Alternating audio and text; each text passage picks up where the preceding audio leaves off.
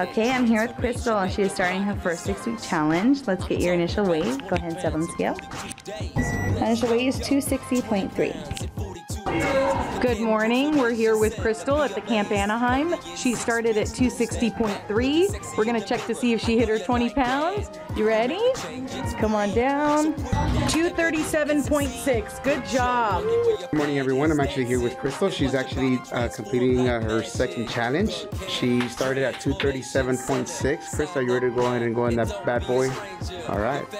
217.8. Now